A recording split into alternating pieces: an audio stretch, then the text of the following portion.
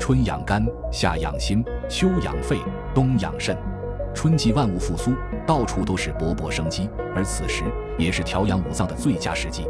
中医上认为，春属木，入胃为酸，对应五脏为肝，顺应自然界生长生发之规律。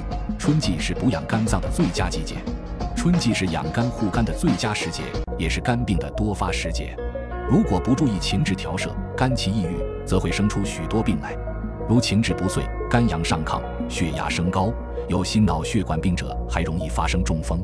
所以，每到春天，发生肝病或肝病复发的病人就会较其他季节多。基于此，作为自然界中的生物，随着气候、节气等环境状况改变，人体的五脏六腑的运行状态也会随之改变。因此，人的饮食起居也要做出相应的调整。这就是所谓的天人合一。在春天，肝气旺盛而生发，人的精神焕发。可是，如果肝气生发太过，或是肝气郁结，都易损伤肝脏，到夏季就会发生寒性病变。此外，中国近五千年灿烂的医药文化，在保健养生方面早已精辟地提出了“上攻治未病，不治已病”等经典思想。